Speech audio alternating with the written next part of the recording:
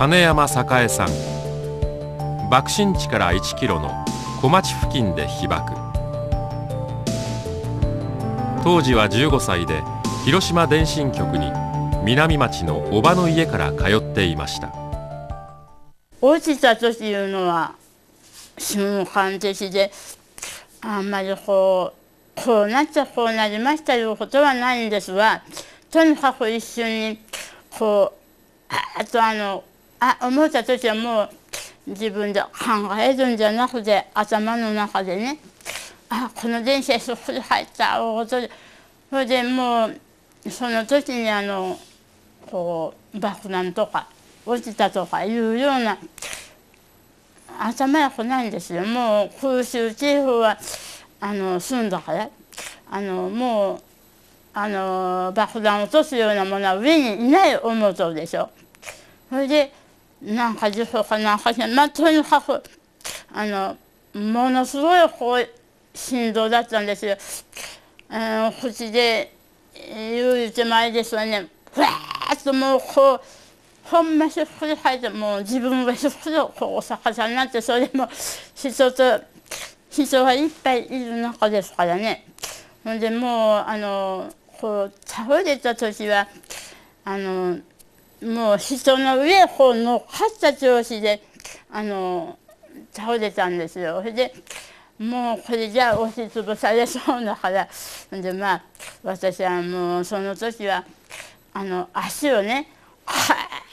足でこう人を蹴ったのは覚えてるんです。もう死に物狂いで。音はしないんです。何の音もしないんです。こととも風の音もない。とにかく音は全然ないんです。あの死んだような静かなんですよ。恐ろしいほど静かなんですよ。で人も何もあの話し声もない家もなくそれで全一ももうどうなとあの？あと薄明かりで見たら全一の線は屋根のこう垂れ下がってね屋根が下についてるんですよね。ビズもないし屋根もこう屋根らしいものが地べたこうずっとこうずっとみんな下へ崩れてそれで電車のある電車ありますよね。線路も見えませんのよ。線路もないんですよ。混乱しとるとこれ後ろから人がまた人が出てきちゃって。それで牛山どっちでしょまあとにかく牛山と走ったら帰れば私は南町まで帰れる勇気だったんでその人ももうすぐどんどんどんどんこうああ思ってその人は私もついて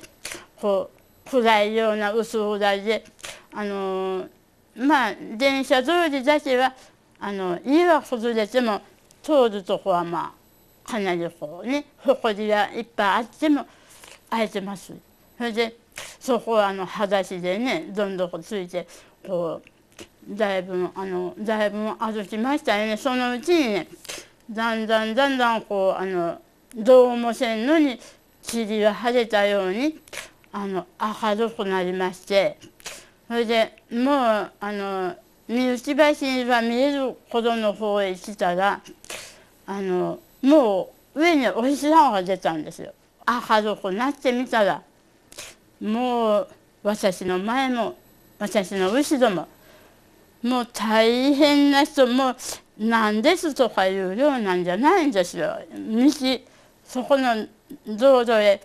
道幅へいっぺんこう濁流が流れるように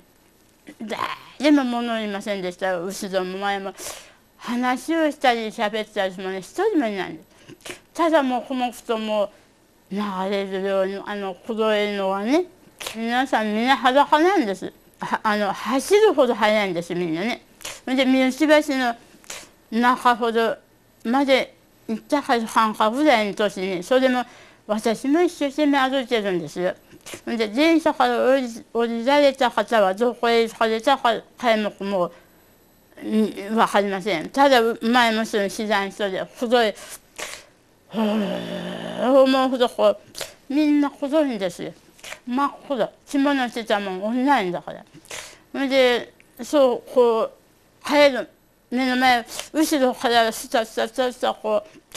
う同じような真っ黒いのがね私をちょうど私の横を追い抜いてこう歩いていくんですその後ろ姿をね全然。思っておばさんがもうあの全身痩せて怖いようなかったけどでもこれはおばさんだ思うておばさん言うて言うてもこれ出んのですよ。言うな言うたんだけどこれあの遅れちゃならん思うとこう必死について帰ったらやっぱりおばさんなんですよ。違う人ならいい思うても障子のずっと向こうおじさんがね屋根の上を飛ぶようにしてこうちょうど帰ってしようちゃったんです。タイミングがいいというかそれであのそしたらおばさんも見えたんですよね。お父さん言うてあんまりあの元気な声じゃないですよね。お父さん言うてそこへねあの変な変な変なとこあの座ってしもちゃったんです。帯の跡が白いんですここだけバンドしたように。それで足18尾入ってますでしょあの旅入って18尾でその18尾はないんです。閉じてね。裸足なんだけどこの足の先だけ。やっててない白いとこ。あとは真っ黒で。それもポコッと膨れちゃってあの南松からこう土手みたいなとこずっと行ったとこへあのある学校はどこなんですかね私後からここ工業高校だったんかな思うんだけどそこのあの校庭学校の校庭へね行ったらいっぱいそういう人があのいっぱいいらっしゃってそれで中中を活動する人はそこにいらっしゃったんですよ。ほんでこうぶら下がったあの皮をねこう切ってねそれであのこうこの辺もこう少しは塗ってもらったんですけどでもそれ以上は何もしてくれないんですよ。それであの宇治のあの弊社はありましたね。あの頃宇治のあの弊社へあこれあの連れて行きなさい。